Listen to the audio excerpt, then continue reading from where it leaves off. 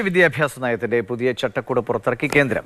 അടുത്ത അധ്യയന വർഷം മുതൽ ഒരു വർഷം രണ്ട് ബോർഡ് എക്സാം നടത്താനാണ് തീരുമാനം. രണ്ടായിരത്തി ഇരുപത്തിനാലിൽ ആരംഭിക്കുന്ന അക്കാഡമിക് വർഷം മുതൽ പുതിയ ചട്ടക്കൂട് അനുസരിച്ചുള്ള പാഠപുസ്തകങ്ങൾ ലഭ്യമാക്കും. വിദ്യാർത്ഥികളുടെ പഠന നിലവാരം മെച്ചപ്പെടുത്തുക എന്ന ലക്ഷ്യത്തോടെയാണ് കേന്ദ്രം ദേശീയ വിദ്യാഭ്യാസ നയവുമായി മുന്നോട്ട് പോകുന്നത്. വാർഷിക ബോർഡ് എക്സാം രണ്ട് തവണ നടത്തുന്നതിലൂടെ വിദ്യാർത്ഥികൾക്ക് മികച്ച സ്കോർ നേടാനുള്ള രണ്ട് അവസരമാണ് ലഭിക്കുന്നത്. രണ്ട് പരീക്ഷകളിലെയും മെച്ചപ്പെട്ട സ്കോർ വിദ്യാർത്ഥികൾക്ക് റീറ്റെയിൻ ചെയ്യാൻ സാധിക്കുന്നതിലൂടെ മികച്ച ഭാവി ഉറപ്പാക്കാനുള്ള അവസരമാണ് കൈവരുന്നത്. വിദ്യാഭ്യാസ നയം കൺകറന്റ് ലിസ്റ്റിൽ ഉൾപ്പെടുന്നതിനാൽ സ്വാഭാവികമായും സംസ്ഥാനങ്ങൾക്കാകും പുതിയ ചട്ടക്കൂടിനെ സംബന്ധിച്ചുള്ള അന്തിമ തീരുമാനം എടുക്കാൻ സാധിക്കുക.